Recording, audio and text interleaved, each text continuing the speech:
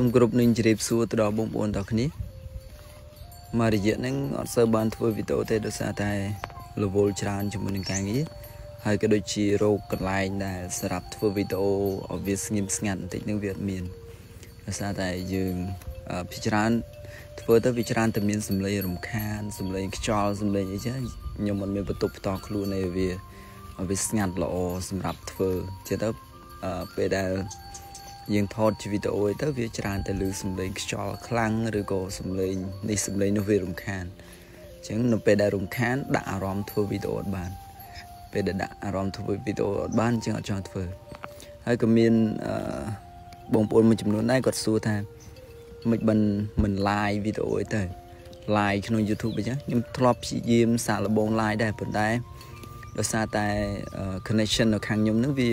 slow វា low នៅខាងខ្ញុំវារៀងជនបទបន្តិចអញ្ចឹងពេលយើងប្រើអ៊ីនធឺណិត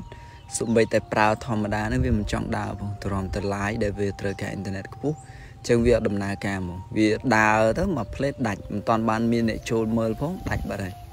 ហើយអាចអាប់ឡូតបានទេនៅពេលខ្ញុំអាប់ឡូតខ្ញុំទៅទៅរោគកន្លែងណាដែលមាន Wi-Fi ឬក៏ទៅក្នុងក្រុងបាត់ដំបងអីទៅបានខ្ញុំអាចអាប់ឡូតវីដេអូបានអញ្ចឹងវាពិបាកក្នុងការរកកន្លែង ត្រូវអាប់ឡូតវីដេអូហើយពុកម៉ាអីគាត់ចំណាំនិយាយដែរថាម៉ែអត់ live អត់អីអត់ឲ្យឃើញមុខអត់ឲ្យឃើញអីចឹងមានណាគេទុកចិត្តមានណាគេចង់ទិញចង់អីឧទាហរណ៍ទៅបើសិនមានរបស់លក់អីចឹងមានណាគេហ៊ានទិញមានណាគេហ៊ានអីចឹងណា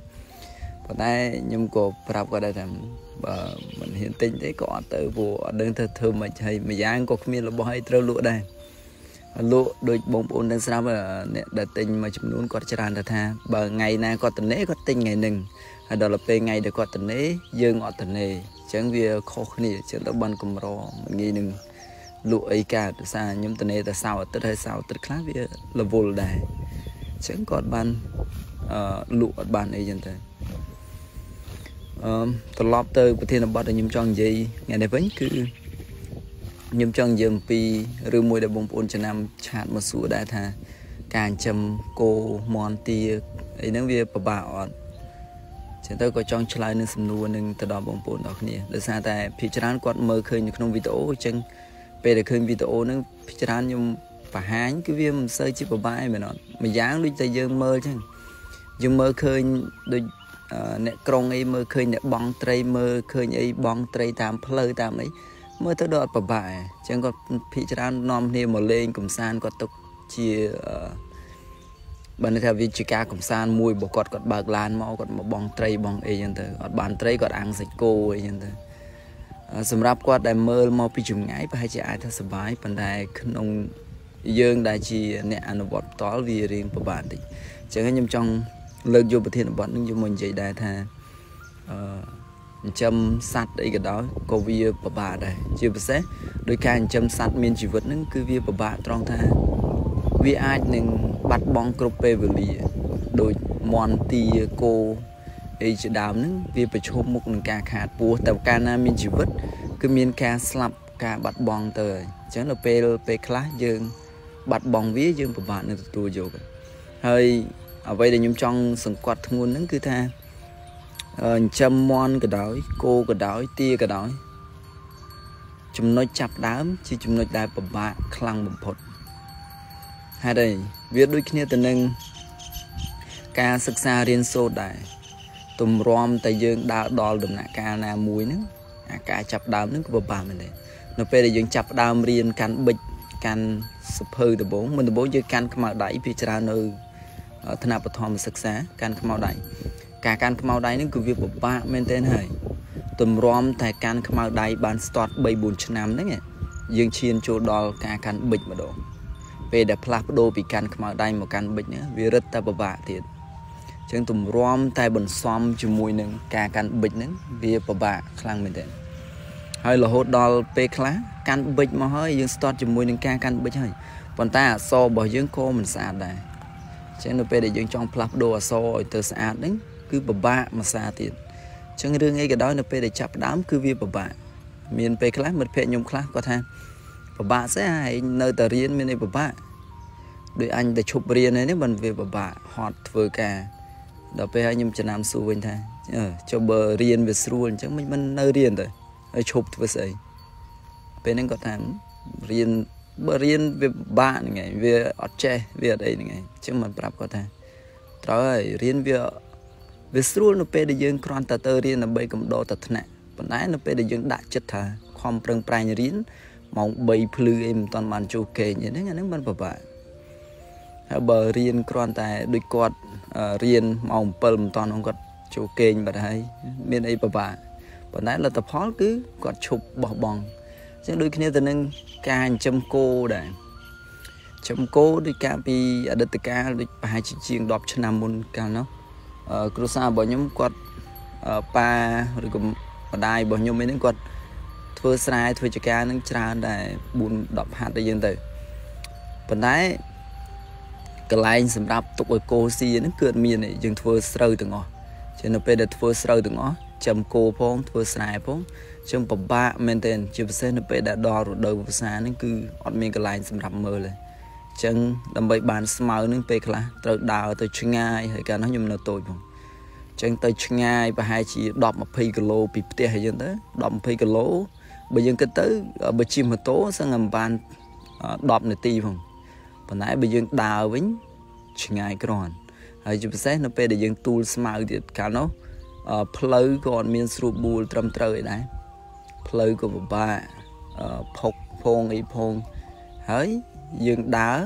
ដើរយើងទូលទូលស្មៅទូលអីនៅពេលដែលបានស្មៅហើយកាលនោះក៏មិនមានម៉ាស៊ីនកាត់ស្មៅមានអីដែរហើយស្មៅដែលរកបានហ្នឹងគឺយើងច្រូតឬក៏បោចពេលខ្លះ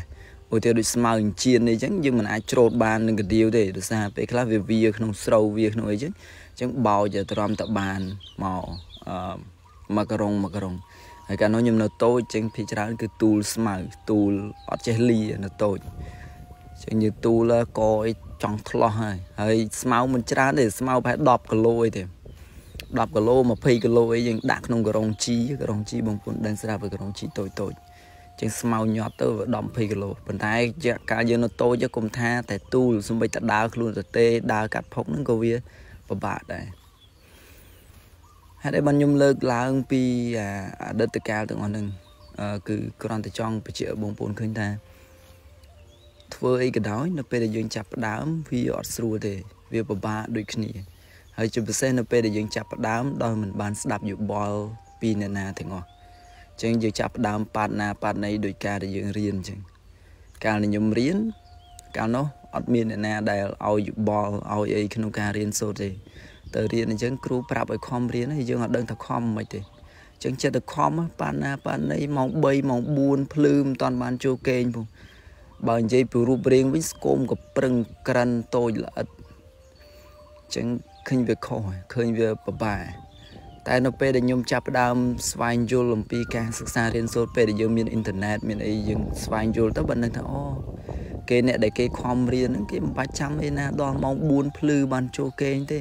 គេខំប្រឹងរៀនត្រឹមម៉ោង10ឬក៏ម៉ោង11អញ្ចឹងគេចូលគេងគេគេងឲ្យបានគ្រប់8ម៉ោងអីចឹងគ្រប់គ្រាន់សម្រាប់រាងកាយទទួលយកបានអញ្ចឹងអារម្មណ៍ហ្នឹងគឺស្រស់ថ្លាស្រស់បោះពេលដែលទៅរៀន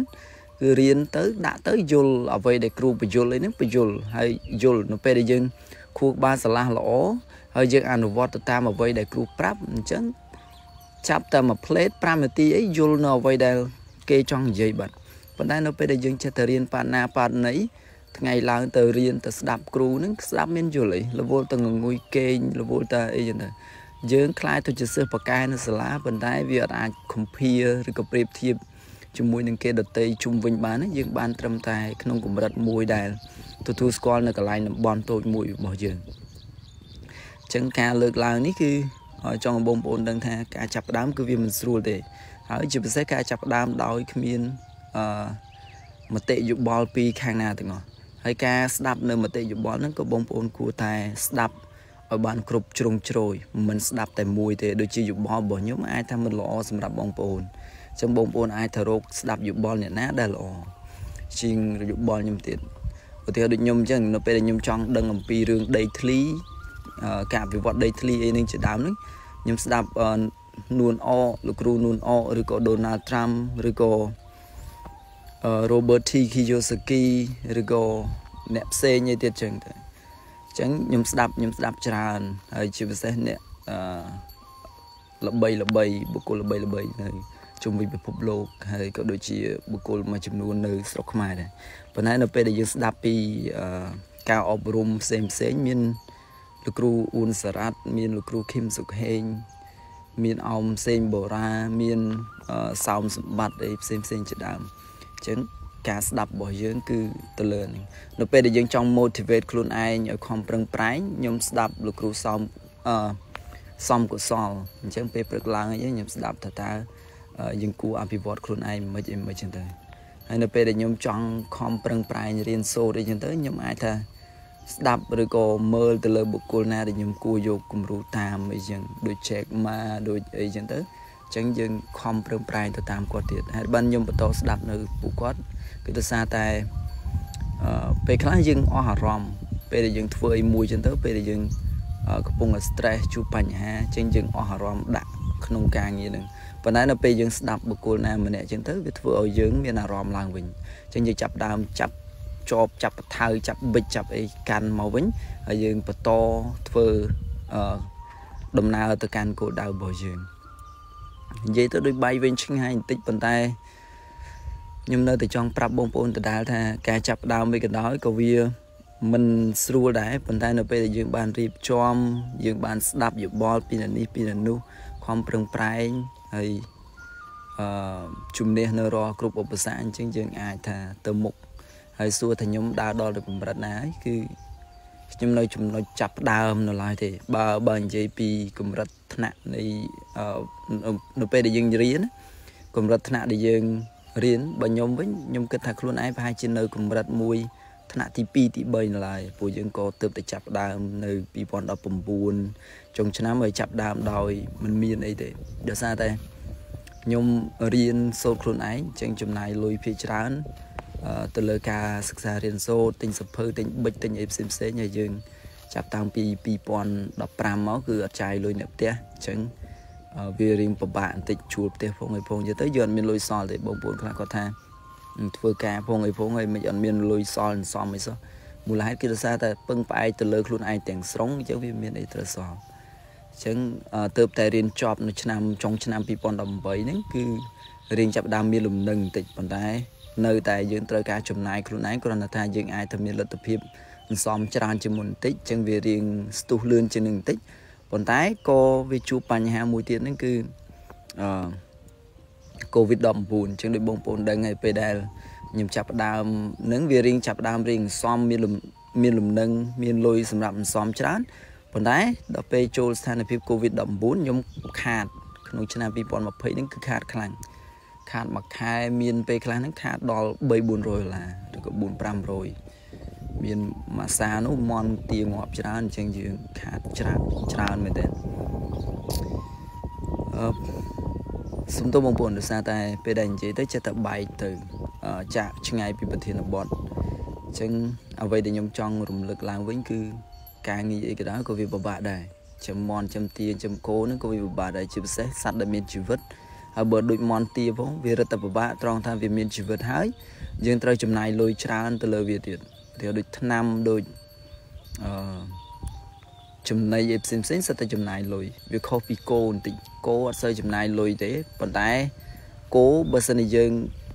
អត់មានដីធ្លីច្រើនសម្រាប់វាទេលុយក៏ចាយច្រើនដូចគ្នាពេលខ្លះយើងនិយាយថាអូគោស៊ីស្មៅប៉ុន្តែយើងគិតមើលថាស៊ីស្មៅវាស៊ីច្រើនមែនអត់អញ្ចឹងបើយើងទៅធ្វើការឲ្យគេមួយថ្ងៃវាបាន30000ប៉ុន្តែដល់ពេលយើងអត់បានទៅធ្វើការឲ្យគេទេយើងទៅច្រូតស្មៅ ឃើញអស់ប៉ុន្មានហើយឃើញយើងខាតអស់ប៉ុន្មានខាតអស់30000ហើយ30000យើងទៅកាត់ស្មៅឧទាហរណ៍អ្នកខ្លះគាត់មិនកាត់នឹងដៃព្រោះគាត់ប្រើម៉ាស៊ីនប្រើម៉ាស៊ីនមួយថ្ងៃប្រហែលជាចំណាយពេលចំណាយប្រហែលកន្លះលីត្រឬក៏1លីត្រ1លីត្រប្រហែល6000អញ្ចឹងវាអស់36000ហើយអញ្ចឹងយើងឃើញអត់មួយថ្ងៃយើងចំណាយអស់36000ប្រហែលជឿយើងគុណនឹង365ថ្ងៃឬក៏គុណជាមួយនឹងចំនួនណាមួយទៅអញ្ចឹងឃើញអស់ប្រហែលហើយហើយមួយទៀតបើសិនជាយើងដាក់ចិត្តថាធ្វើយើងធ្វើពេញម៉ោងមកចឹងឃើញវាពិបាក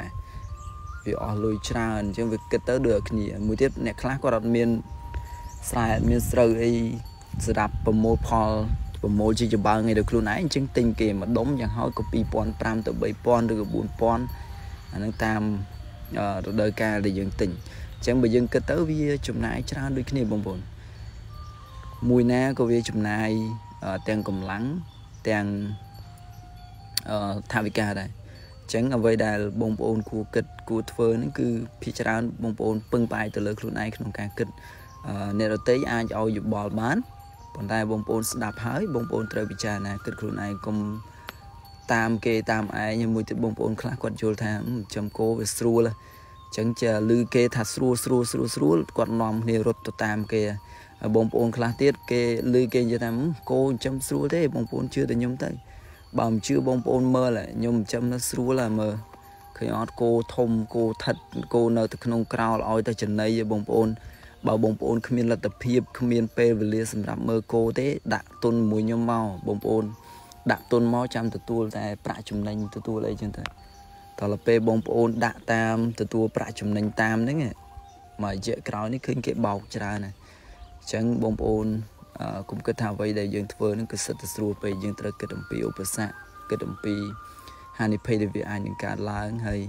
បងប្អូនបើចង់ធ្វើអីក៏ដោយត្រូវគិតថាវាមិនជារឿងស្រួលពេកទេដូចតែកូនសិស្សចឹងបើគាត់គិតថាមេរៀននោះវាស្រួលពេកចឹងគាត់មិនខំប្រឹងរៀនបានទេចឹងបងប្អូនក៏ដូចគ្នាបងប្អូនត្រូវគិតថាការចាប់ដើមដំបូងវាមិនស្រួលទេអ្នកដែលគាត់ស្រួលហ្នឹងគឺគាត់ចាប់ដើម4 5ឆ្នាំឬក៏ មុននឹងគាត់ដល់ដំណាក់កាលហ្នឹងបើទោះជាគាត់ទៅចាប់ដើមចិញ្ចឹមសត្វក៏ដោយឧទាហរណ៍ថាគាត់ទៅចាប់ដើមគោចិញ្ចឹមគោប៉ុន្តែមើលទៅគាត់ដូចស្រួលមានវិបាកប៉ុន្តែបងប្អូនភ្លេចគិតថាគាត់ធ្វើការឲ្យគេអស់ប្រហែលឆ្នាំហើយអ្នកខ្លះធ្វើការ10ឆ្នាំហើយបានមានលទ្ធភាពទិញដី3ហិកតាប៉ុតលបងមកហើយប្រឡែងគោចូលទៅក្នុងនឹងមានអីពិបាកព្រោះដោយសារតែគាត់ធ្វើការឲ្យគេ10ឆ្នាំហើយហ្នឹងតែបើតែគាត់ទៅបញ្ចាប់ដើមចិញ្ចឹមគោមែនប៉ុន្តែគាត់ពិបាក10ឆ្នាំហើយ បើយើងទៅបញ្ចាប់ដើមហើយយើងចាប់ដើមដោយការចិញ្ចឹមគោនឹងបដោយអញ្ចឹងវាពិបាកហើយដំបូងព្រោះយើងអត់មានដីសម្រាប់ប្រឡែងចោលឬក៏យើងត្រូវចាប់ដើមអឺពីបាតដៃទៅទេចាប់ដើមពីការទិញគោទិញអីដាក់ចូលដំបងអញ្ចឹងវាពិបាកអញ្ចឹងដូចអ្វីដែលខ្ញុំបញ្ជាក់ម្ដងទៀតថាធ្វើអីក៏វាមិនស្រួលដែរប៉ុន្តែនៅពេលដែលយើងរៀបចំផែនការទៅមុខទៅហើយយើងបានចាប់ផ្ដើមវារយៈពេល4 5ឆ្នាំហើយវាចាប់ដើម វាវារៀងស្រួលវិញហើយជាពិសេសនៅពេលដែលយើង មានចំនួនគោមានអីវាច្រើនហើយចឹងយើងអាចថាស្រួលកម្លាំងដោយសារយើងមានកន្លែងមានអីសម្រាប់ឲ្យវាស៊ីឬក៏យើងអាចជួលជាកម្មករអីជាដើម